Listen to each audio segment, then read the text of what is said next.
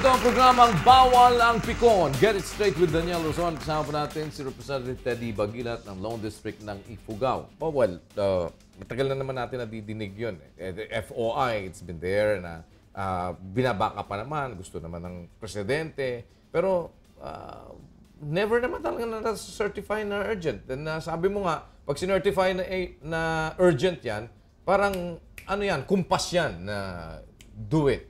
Uh, bakit? Ano, ano bang ano talaga nito? Well, um, una, kahit hindi na siya na-certified, no, I, I, it is, sa tingin ko sa sa ngayon, no, uh, yung involvement naman ng mga communications group ng presidente, no, sina Lash Edwin Lasherda, si Manolo Quezon, is an indication naman na it's still a priority of Malacanang, no. But yung You, yung, you, you, you believe that? I mean, sabi mo... I have to believe that. No, di, kasi sinasabi mo nga eh, yung mga na-certify na as urgent, meron pa rin certified urgent natutulog. Not unless na talagang yan eh. Kumbaga, parang certified urgent and certified talagang eto ko. Gusto ko talaga yan. Uh, tapos ngayon ito, FOI, ni hindi naman certified na urgent at noon pa iniintay. For the longest time, a lot of people are saying, why hindi sinesertify ito na urgent ng presidente. And you believe na ipupush nila yan ang gusto? May mga may mga uh, kasamahan kami sa Kongreso na tap, malapit sa ating Pangulo na kasama na namin yan na nagtutulak. No? For example, si uh, Deputy Speaker Dina Abad. Well, of course, maraming mga Deputy Speakers, but if it's Dina Abad there, no, uh, mayroon pananaw na uh, ito ay isa sa mga napakalapit na kalyado ng presidente. No?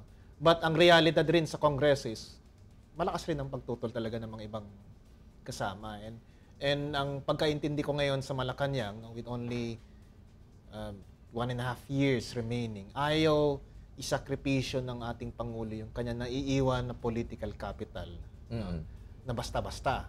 Ang number one priority na talaga niya ngayon is BBL.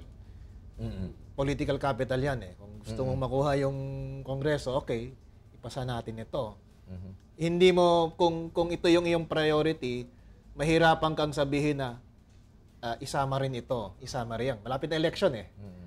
No? Nag-iisip na yung mga kalyado. And doon mismo sa loob ng Kongreso, I don't know why, no? but uh, may, may, may malakas na pagtutol sa freedom of information. No? Well, isa sa mga functions ng uh, Congress, yung oversight 'di ba? Na ma, to, to see to it that the laws that you have crafted are being implemented. Yeah. Hindi ba hindi ba ganun yung ano na? Pero hindi ho ba niyo nakikita na napakalaking problema ng implementation na ever since ang daming magagandang batas pero pag tinignan mo sa implementation, that, what's there? Uh, in fact, oversight is one of the most important functions na hindi nangagampanan ng Kongreso masyado. Mm, why is that so?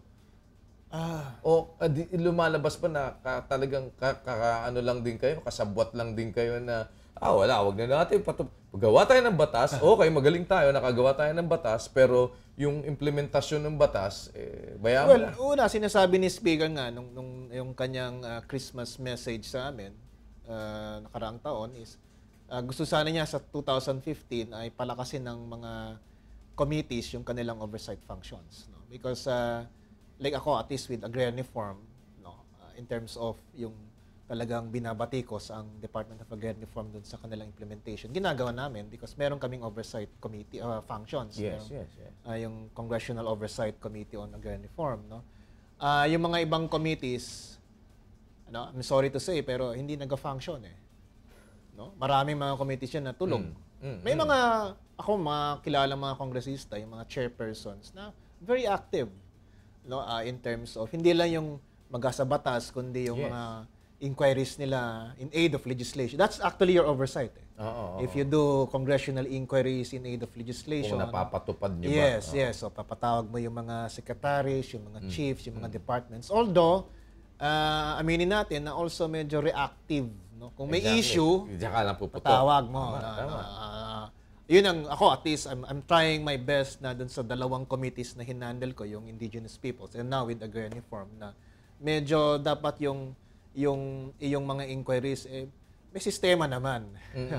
no, hindi yung basta pag may issue, patawag ka. Oo, Because oo. kung ganon, ni- nalulutas mo lang yung issue doon sa lugar na yon. But ang problema yung buong ka- yung ka- kabuuan ng sistema eh, no?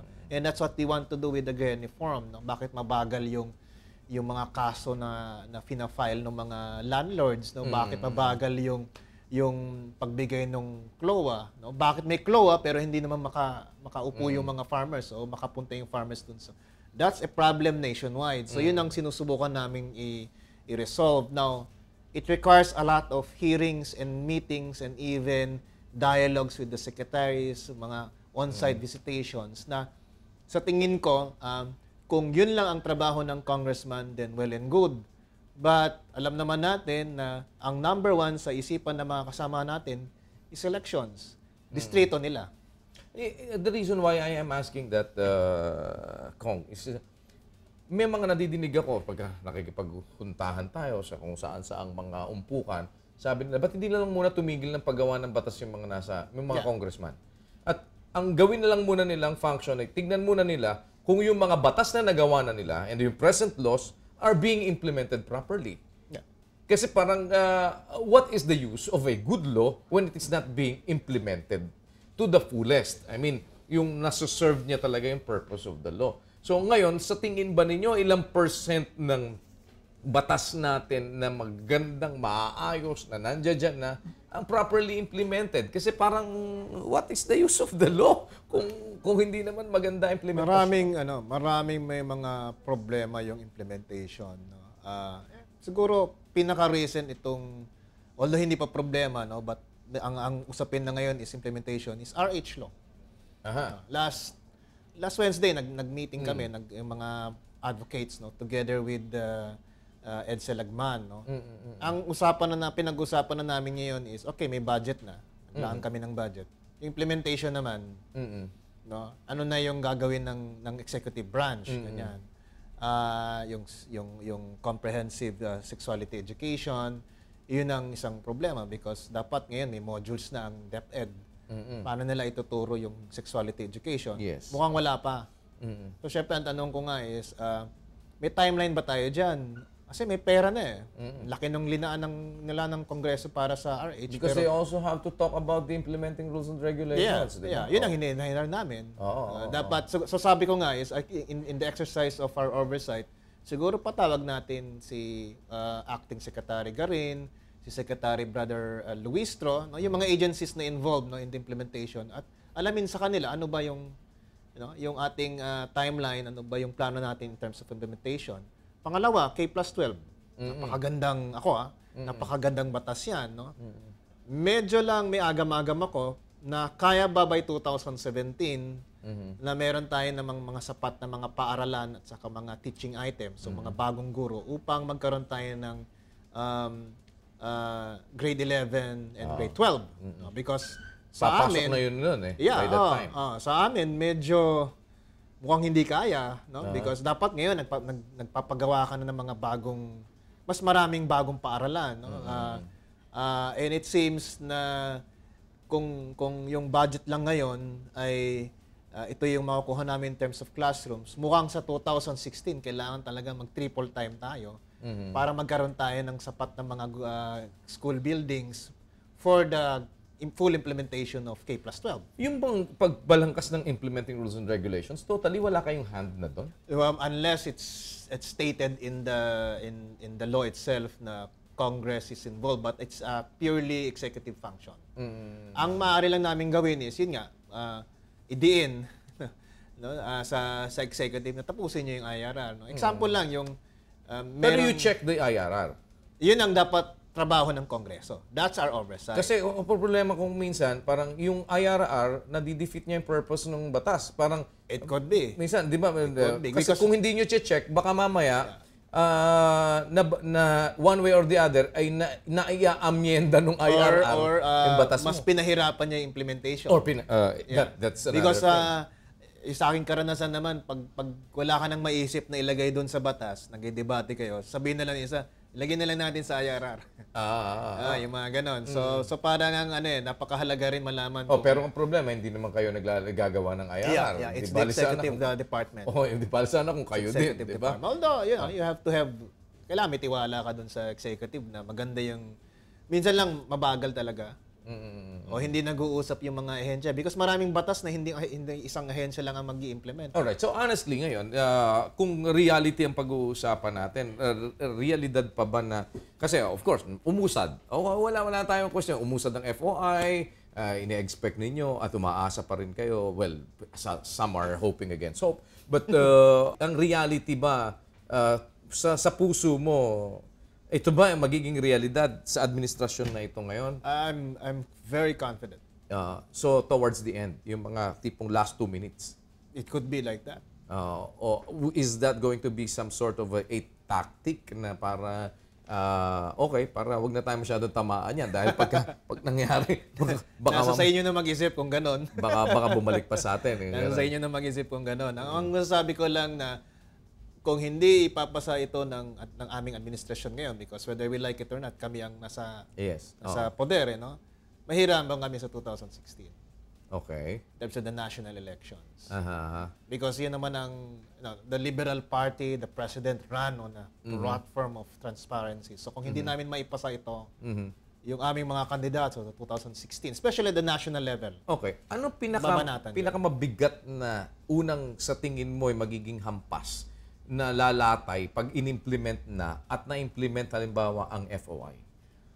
ang, well, pinakahamon Oh, pinaka kumbaga parang ano anong pinakatama niyan talaga na oh eto eto ngayon na kita nyo ngayon to. Eto ang mangyayari ngayon talaga pagka with the implementation of the FOI and how uh, close is it to reality of being implemented or is it going to be another law that will not be fully implemented dahil marami nga tayong mga batas na hindi naman na-implement properly. Ako sa tingin ko ang magiging um, pinaka hindi ko masasayang problema no but yung yung yung malaki ang ang adjustment would be at the local government units. Dito sa national andyan ang media, andyan ang civil society, no. So in terms of Nyari, let's say, pinag-usapan na lang natin, budget. Sa- Saan nagpupunta yung budget? With the FOI, supposedly, ah, dapat transparent lahat. Alam ng tao kung saan nagpunta yung kanilang buwis. Sa national government, mas madali eh. No? Mm. Kasi yan ang pinag-usapan natin na yan, yung, yung, yung presidente, yung open upon government initiative nila. Sa LGU ang mahirap. Doon, maraming corruption. So, sa maraming barangay, sa munisipyo, sa probinsya. no? And ang ang challenge nga is, handa ba ang mga local government units na mag-implement ng FOI pag ito'y pumasa? Ayan. Meron ba silang website? Aha. meron ba silang mga information officers pag nakuha nilang petition for information anong gagawin nila dito Hmm. Pero popondohan naman yan, sir. supposedly supposedly may training kaya nga may transition period eh may nagpapanukala na pag pumasa siya hindi ka agad-agad yung full implementation kasi meron munang one year transition kasi sabi naman namin well andyan yung batas pero magkaroon tayo ng ah, capacity building pero hindi hindi sinasabi na suspended muna yung implementation no? but definitely marami mga LGUs na hindi handa Mhm. no um and and kahit may national law ka naman karamihan ng mga national laws natin kapag aaralan ang implementation nasa baba eh. RH Mm-mm. it's a national law but ang ang magsasagawa nito is the midwife the the municipal health officer which is all LGU no kaya nga sa akin And which is very problematic. Yeah, because ah, marami kaming nilagay doon sa batas nung sa BICAM na na kailangan mag-hire tayo ng mga bagong mga midwives, health workers, no? LGU naman lahat 'yan. Hindi naman DOH ang mag-hire para sa LGU eh, no? So so ah, that's the thing, no? Ah, kinakailangan na pagkatapos na sa amin at least naipasa namin yung batas maliban doon sa IRR pumunta kami sa aming mga sariling distrito at sabihin, ito na ho yung batas natin, paano natin i-implement ito. So ako, pag may FOI, no, pupunta ako sa aking munisipyo Para check. para i-check, o, paano ba natin isa Meron na ho ba tayong website? Meron na ho ba tayong mga protocol na it- ito ang unang step one, punta kay ganito, punta kay ganyan. Eh pag i-deny mo, alam ba ng mayor na kasi may mga protocols yan no na pag dineny mo yung information no ah, hindi ibig sabihin na tapos na, no? May review pa yan. So, yun ang kinakailangan na i-disseminate natin sa baba. No? Because otherwise, ang, ang ah, sa ngayon, ang, sa tingin ko naman, with everything that has happened, no, ah, the scams na exposed, no, um, lumalakas na ang ating civil society. Mm. No, at least dito sa syudad, no, Nadidinig na kahit nadidinig na kahit paano. Kaya nga sinasabi nila na itong mga media na ah, ayaw namin, ang sabi ng mga ibang kasama namin, mahirap may FOI kasi no, ah, ang media banat na ah, ano makaka ano bubulgar nila lahat ng mga nangyayari. Sabi ko, kahit naman walang FOI, kayang-kaya ng media kunin yung paano. Na, information. nabu, na, eh. nabubusisi Na- na. ano naman eh. Uh, pero before I let you go, eh, ano bang status po? Um, mapopospone ba SK o ano pang uh, pa- palagay ninyo dito? Kasi Kasi parang, ako sa, nasayangan ako doon sa inisyatiba ng Congress na i-postpone eh. Mm, Pinospone nga namin, hindi naman kami nakapagpasa ng bagong batas. exactly. Kasi di ba parang uh, the, the reason bakit ipinospone yun is para makaano kayo ng, Yeah. ng reforma. Yeah. O, eh ngayon, so since wala pa yon hindi ba logical lang na kasi kagaya na, yun din ang hinihingi ng uh, ng Itutuloy. uh, ng COMELEC, di ba? O uh, kaya lang mukhang ang Senate ang medyo ano pa dito. Marami kasing debate na ano bang gusto natin, iba buwagin, iba ano lang reform. Mm. Yung so yun yung debate, hindi nagkaroon ng pagkakaisa kaya walang nangyari. So ngayon, ah, ano ang tinitignan natin? Matutuloy na to sa February? That's what the COMELEC says, no? Unless Hindi, the, the COMELEC is saying na not na, na- hanggang wala kayong ginagawa, tutuloy namin. eh wala namang Ah, sila nga ang nagre-request sa inyo na gumawa, do something about wala eh. this. Kulang ng panahon eh. Pinalagay na lang inat, inatasan na nila ang, ang mga eh, sa local uh, COMELEC officers na mag-disseminate na. So February na yung ano, wala na kaming sapat na panahon na ipasa. Unless again, no, tulad yung nangyari dun sa postponement nung nung ARM elections, Ah. 'di ba, na uh, napakabilis eh, 'di ba? Isang kumpas, Senate saka House nagfa So, nagpasa uh, ng so that is yun still ang dap- that is still possible. still possible with with what uh, almost a month less than a month left no before the elections because but otherwise kasi kailangan meron ka ng mensahe na iparating ngayon sa COMELEC.